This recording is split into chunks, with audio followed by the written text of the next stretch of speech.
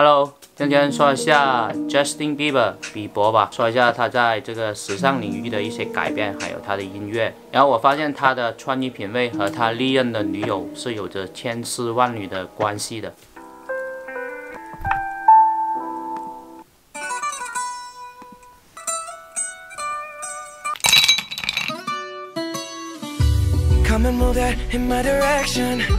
在二零一零年，加拿大的十五岁年轻歌手 Justin Bieber 凭借着他自己创作的一首单曲《Baby》席卷全球。可以说，Justin 凭借着《Baby》这首歌呢，一出道就迎来巅峰。在二零一二年，Justin Bieber 的十七岁开办了他个人的第一场演唱会。在二零一二年，Justin 除了获得事业的巅峰之外，他还迎来了他人生当中非常宝贵的一段感情，就是和美国的的迪士尼甜美女童星 Serena Gomez 的恋爱。他们之间的恋爱被美国人称作金童玉女般的天作之合，但是谁也没有想得到，Justin 和 Serena 他们这一段隔了两年的姐弟恋会演变成美国人民每天喜闻乐见的晚上八点档的狗血爱情剧。一出道的 Justin 喜欢穿着紫色的衣服，搭配一些普通的滑板鞋，最有标志性的就是他那一缕金黄色的头发。厚厚的刘海，她这一身造型搭配她的外表，也成为了当年万千少女所喜欢看到，还有万千少男所模仿的一种。爱豆文化图腾。和 Serena 谈恋爱之后呢，Justin Bieber 的年纪也到了十七岁，他也意识到自己的造型要变得更加的成熟，还有有味道，因此他就开始尝试穿着一些 designer 的西装，搭配一些爆款的潮鞋。哦，对了，他开始把自己的刘海切起来，然后开始有纹身了。If I was your boyfriend, I'd never let you go. I could take you places you ain't never been before. Baby, take a chance, so you'll never ever know. I got money in my hands that I 但是汹涌而来的名利还有被关注，让 Justin 感到非常的不适应。他享受着被名利所带来的关注的同时，却也因为生活被过度关注而变得迷惘压抑。一四年，比伯因为酒后驾驶而被逮捕。狗仔队 TMC 还曝光了他一张面带笑容的收金照。同时，他也彻底放弃了自己的形象管理，在叛逆的道路上一去不复返。他开始喜欢穿低裆裤，从此以后，他的裤子再也没有提起来了。不过，也因此成为了 CK 的代言人。经历了一三一四年遭全世界所垂弃的低潮期，到了一五年，这个浪子决定重改前非。回归正路，隆重推出了新专辑《Purpose》，曲风一改以往的稚气，一首《Sorry What Do You Mean》成为了当年爆款单曲。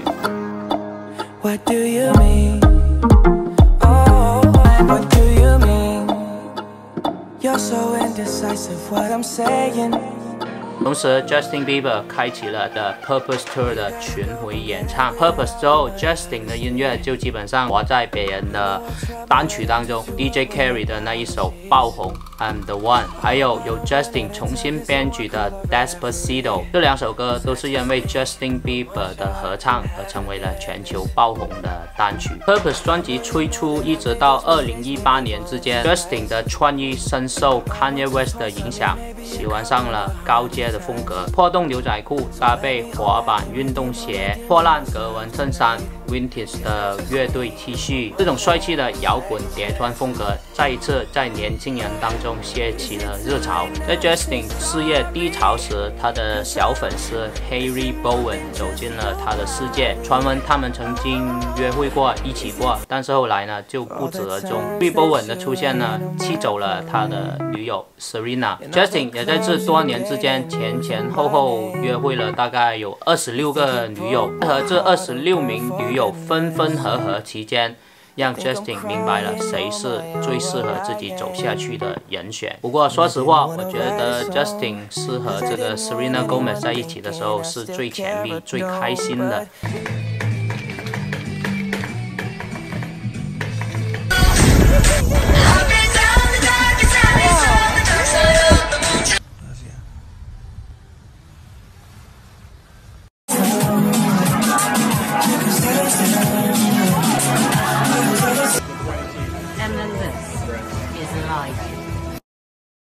So most people come to Vegas to get, you know, party. This is what we do. Is that is that my Snapchat?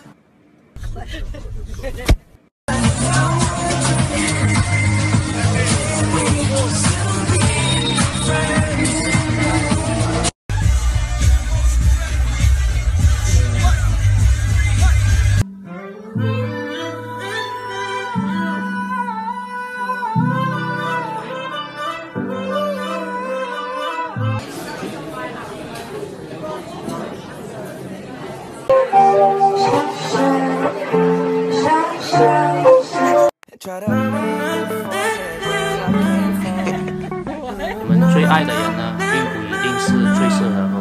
下去的，可能也是 Justin 他因为名利而带来的这种忧郁症吧，这种 emotional 的 breakdown，可能这是让他和 Serena 没办法继续走下去的原因。在一八年，直到今天二零二零年，Justin Bieber 他的穿衣风格又迎来了改变，可能让所有的观众看不透的，并不是他和 Serena 之间的八点档爱情剧，而是他头上那乱糟糟的头发，还有那两撇八字胡子，其实是可以解释的。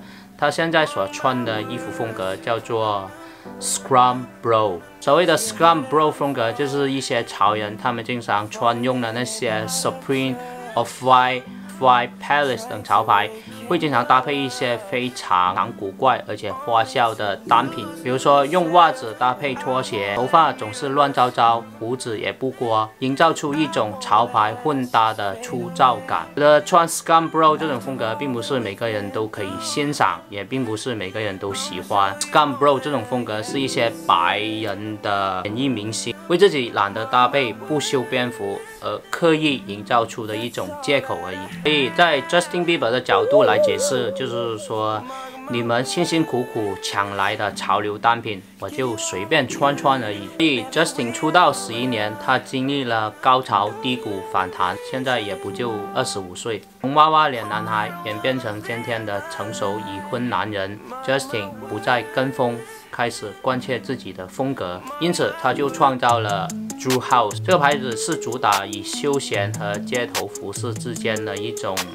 临界点，这个经典的皇室笑脸 （Smiley Face） 为品牌的主要 logo，讲一种无拘无束、穿着随意、活在当下、追随自己梦想的品牌理念，让穿用它的人可以感受到一种正面的能量。也许大家并不能 get 到 Justin 他现在的穿衣理念，但是我们必须承认，Justin 花了十一年。走出来的经验和教训，让我们看到了一个少年到成熟男人之间的转变，一个成熟男人该拥有的态度。好，那我们现在来说一下他这一次时隔五年的新专辑《Chase》的一些周边吧。《Chase》这一张专辑，如果有关注他的话，肯定会有听的。这一张专辑呢，嗯，可圈可点，央米呢是很 catchy 的，呃，让人呢很有记忆点。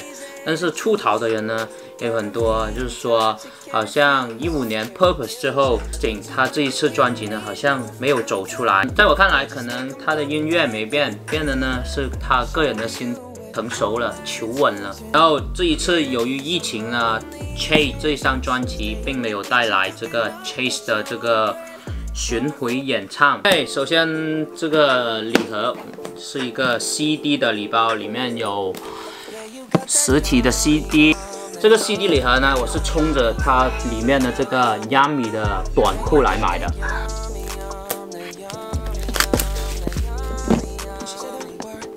哎，这里面有这个一二三四五，这个是什么意思呢？首先我看到一条短裤，挺薄的。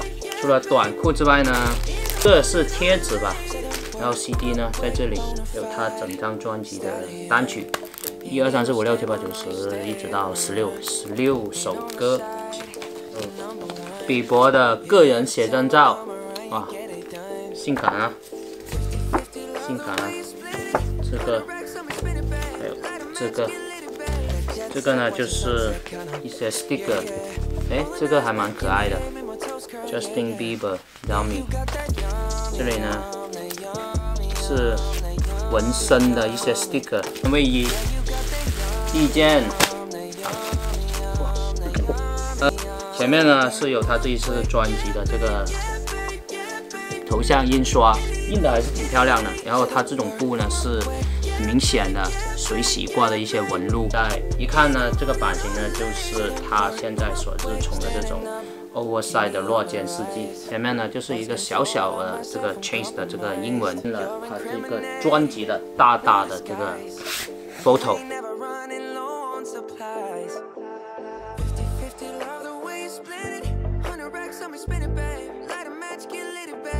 Jet set, watch the sunset, kinda. Yeah, yeah. Rolling eyes back in my head, make my toes curl, yeah, yeah. Yeah, you got that yummy, yum, that yummy, yum, that yummy, yum. You stay flexing on me. Yeah, you got that yummy, yum, that yummy, yum, that yummy, yum. 我本来以为是一条可以外穿的短裤，我发现它其实只是一条。打底的内裤，穿着用来睡觉还是挺舒服的。虽然今天开箱的是一些专辑的周边，但是他这一次周边的东西呢，我可以看得到呃，Justin 他对时尚的一些理解，还有他对时尚的一种欣赏的角度。然后对于 Justin 他这么多年的忧郁症和 Serena 之间的分分合合，到最后选择了 Harry Bowen 作为他的妻子。他又有颜值，又有才华，又有名利。这些都有了，为什么还那么迷惘，会忧郁症呢？那其实就让我想起了一部最近看的电影。我们都想当一个能体面生活的都市人，可现实却是刚是活着就已经缺尽全力了。好了，今天的内容就到这了。今天为大家讲解了 Justin Bieber 还有他的一些时尚改变的历程。然后下一次我想到有什么好的内容再分享给大家。好像每次都这样子说，哎，我也不知道，我要 sign out 了，peace。